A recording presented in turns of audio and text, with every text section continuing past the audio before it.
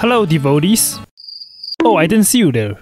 Let's try this again. Hello devotees. So if you know me, I'm someone that can spend months without wishing in Genshin, with a goal of one of my accounts trying to save up to 100,000 free-to-play Primogems. As an avid hoarder, not only do I hoard Primogems, I also hoard both Mora and EXP books, even to the point of letting all my other characters sit at level 1. Now, I'm sure most of you watching want to spend the Mora and also level up the characters for me, and I get that.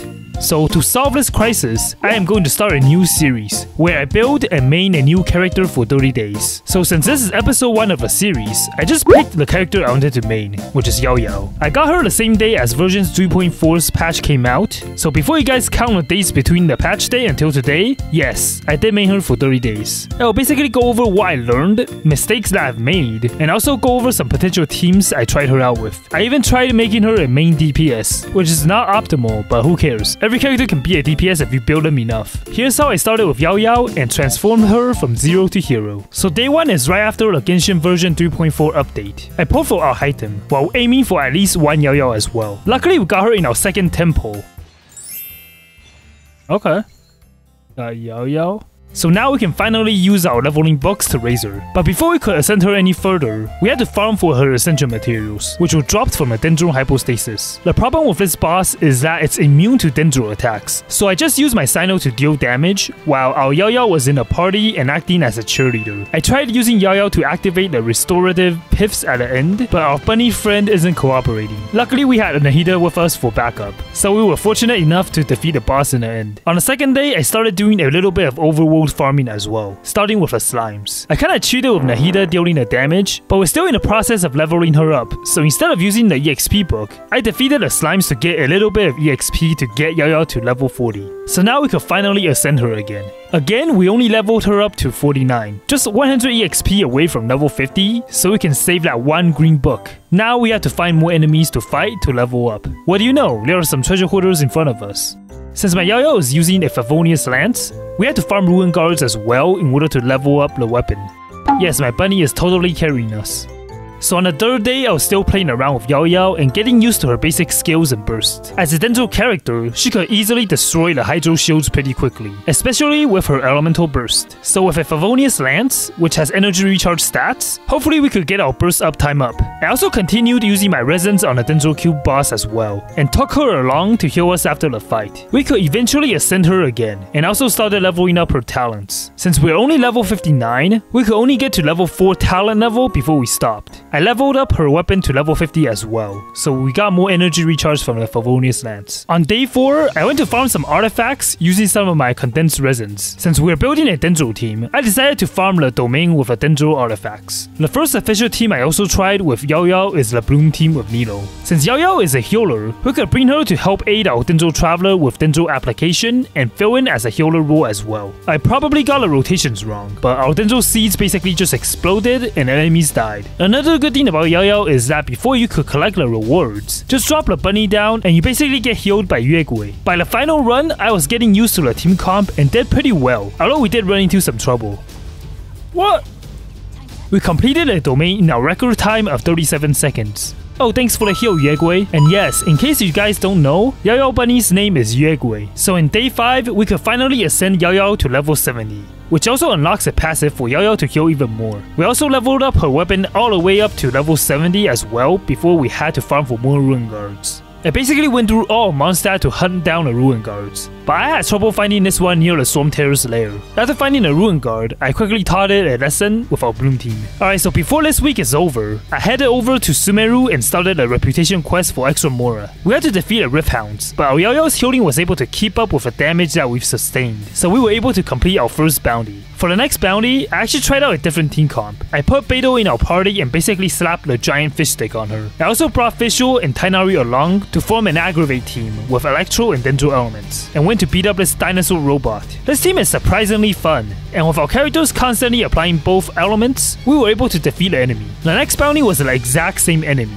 and here I made my mistake for not properly reading the skill descriptions. So I basically unleashed Yao Yao's burst and quickly swapped her off, not knowing that the other bunnies spawn from her burst would disappear once she went off field. But at that time, I didn't really notice it just yet. In the end, I spent some quality time with Yue Yegui and got healed one by one. After completing the bounties, I actually got to Reputation 10 in Sumeru and finally unlocked our Sumeru glider. With a full week of experience maining Yao Yao, I started leveling up some artifacts to start properly building her as a healer. I found a pretty good maiden feather, so I decided to upgrade it, and it turned out pretty good for a maiden feather. On day 8, I went to collect some fluorescent fungi for Thoma, since I wanted to level him up for a different team comp. While walking around Tsurumi Island, I also encountered some enemies as well. We were basically using a three-man team because Goro was just there for his passive of being able to see the Inazuma specialties on a mini-map. We still managed to hold our ground and took care of the enemies. We got a lot of farming done this way as well, and with our Hyper Bloom with Beidou, it worked surprisingly well. With a bit more exploration and farming,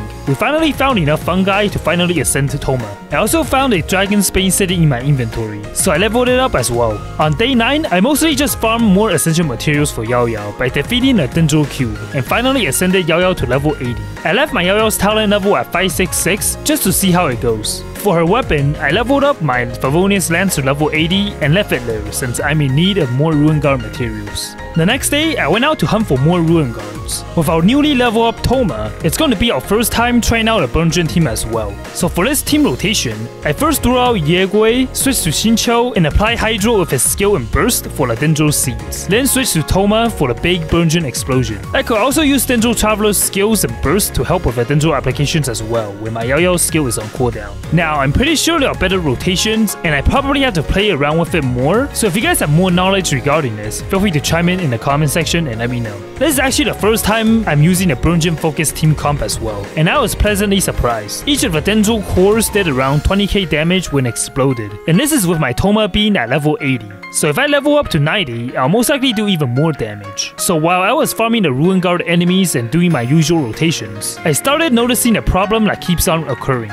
Even though I could defeat the enemies pretty quickly, my Thoma's burst might not recharge fast enough. Since his skill cooldown is also really long, there are a lot of awkward moments where I just stood around doing nothing because my Thoma's burst and skill wasn't ready. Since I'm farming for the Ruin Guards, I didn't really have to worry about it just yet, especially since they tend to die after one rotation. But when I eventually challenge the Abyss in the future, this might start posing a problem for us. In this island with 4 Ruin Guards, I witnessed my mistake once again, where I used Yao Yao's burst and immediately swap off her. After defeating 3 of the 4 Ruin Guards, we had another awkward staring contest because I didn't want to use Thoma's burst.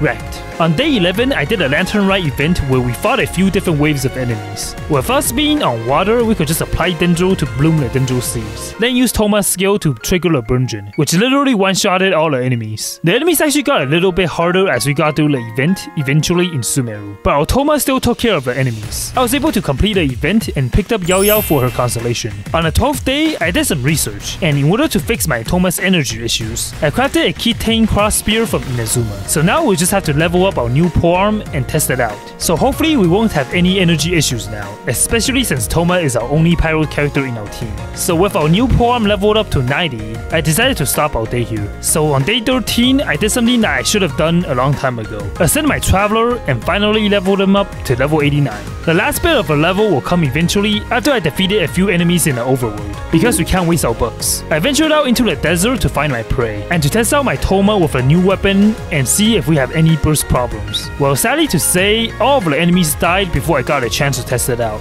Ow, ow, ow, ow, ow, ow. Alright, surely this giant worm will have enough HP for us to experiment, right? Well, both yes and no. The boss has a lot of HP, but it hides underground 70% of the time. So it's kind of hard to burst it down. So we basically wasted our burst, but we were able to chip its HP down and eventually defeated it. The next day I went to farm for some Doritos in the desert. On the bright side, the Doritos have enough HP for us to do our burn Genin Ding, which made me realize that our Thoma still needs more energy in order for his burst to be up 100% of the time. I took a look at my artifacts and tried tweaking them a little bit for more energy, and also tried enhancing an artifact that I had lying around in hopes of gaining more energy, but I ran out of materials, so we'll have to wait on that. Saltoma is now sitting at around 130% energy recharge, which is not ideal since we needed more. I continued to fight the Doritos and ended our day with a good amount of farming done. Since I have a Kuki at level 80, I just thought why not try a Hyper Bloom team as well. I gave her the Umbrella Sword and committed Daylight Robbery on Thoma by stealing all of his Elemental Mastery artifacts. Next, I leveled up her talent as well, mainly her Elemental skill since that's generally what she needs for Hyper Bloom. With our team, we technically have two and a half healers, so if we die, then we have skill issues. I went to farm for some Eremites in the desert and tested our Hyper Bloom damage. The damage was pretty similar to Burn Journey with Thoma, but I could trigger the reactions a bit easier since we didn't have to worry about our bursts. And with our Kuki skill having 100% of her uptime, we only had to focus on getting the Bloom reactions and she'll do the rest automatically. With our Hyper Bloom team, I decided to try the Giant Worm boss again, and we were able to chase it down easier since Hyper Bloom auto targets the enemy. Like, look at this. If it's not aimbot, then I don't know what is. Anyways, we defeated a boss with our Yuegui bunny and finished the day. On day 16, I took my team to Inazuma to do some Hangar farming. It felt really refreshing to just hyper bloom the enemies and see the big numbers with relatively low investment to quickly defeat the enemies one by one. Once the Dendro seeds were on the ground, our Kuki just slayed and we didn't even have to do anything else. The best thing is, we didn't have to worry about our HP, considering that Yao Yao, Kuki, and even Xingqiu to a degree could all heal up. So it's a pretty fun and unkillable team that can dish out big damage. So on day 17, I didn't actually do much, besides final ascending my umbrella and leveling up the weapon to level 90 to get more elemental mastery for my Kuki. I left both my sacrificial sword and Favonius lance at level 80 because I didn't have enough Ruin Guard material to ascend them. The next few days, I focused on a Spiral Abyss. For floor 9, I brought my Yao Yao's Hyper Bloom comp to the first half and started. Since it was floor 9, we got through the first chamber without much trouble at all. In the next chamber, most of the enemies were pretty weak, and we pretty much killed all of them before they could do anything.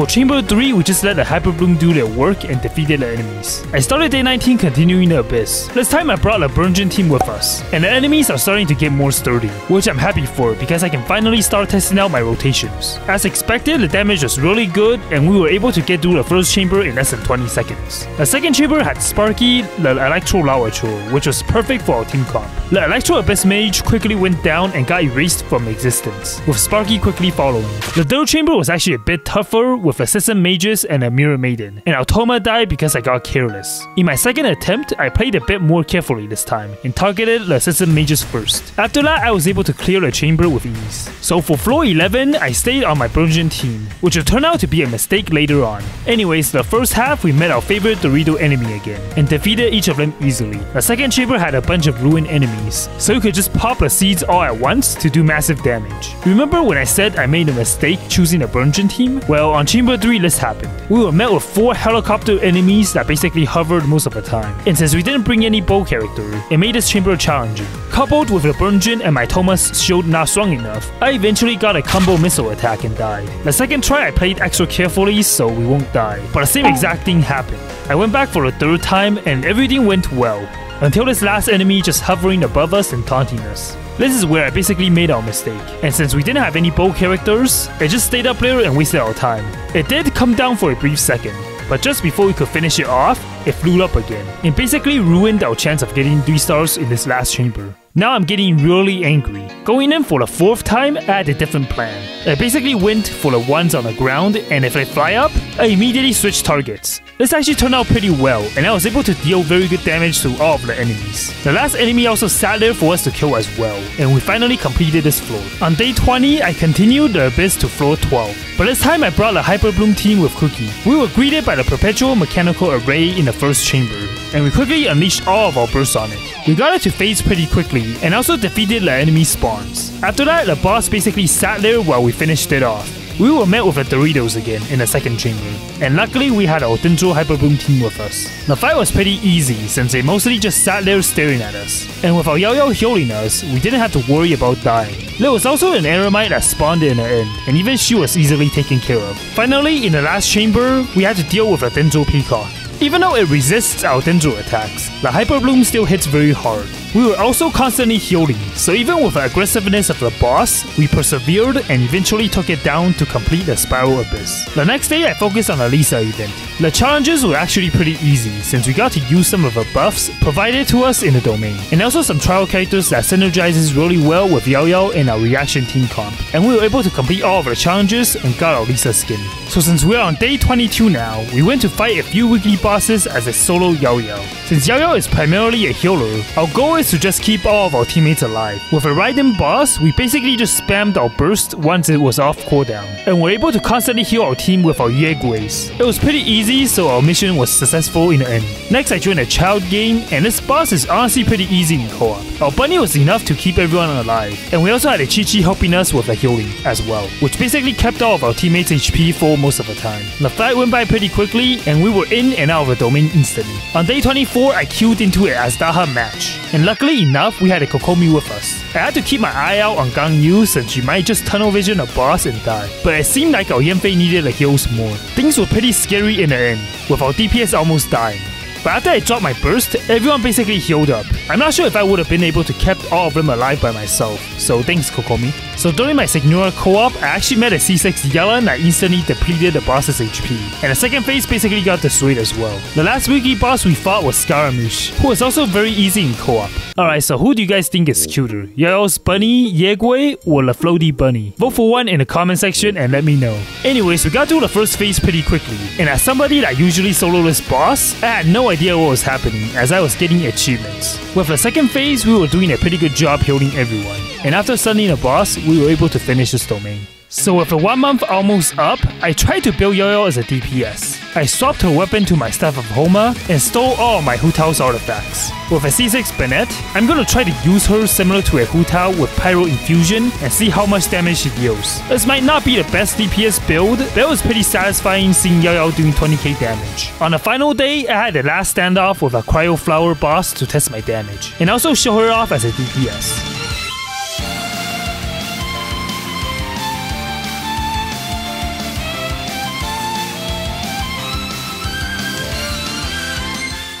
Yayo as a healer is honestly really fun, and her bunny is also very cute. She fills the Dendro healer role very nicely, and could fit into a lot of Dendro team comps, to either help apply Dendro or heal. Hopefully I did Yayo mains proud with my 30 days of maining her, and brought her from 0 to hero. If you guys have any characters you would like to see next, or any suggestions for this series, feel free to also comment and let me know, and I'll consider who to main next. So make sure to like the comments with the characters you want to see in the next video. If you guys enjoy this video, make sure to like and subscribe to the channel to let me know whether or not you would like to see more, and we'll meet again in the next one. Bye.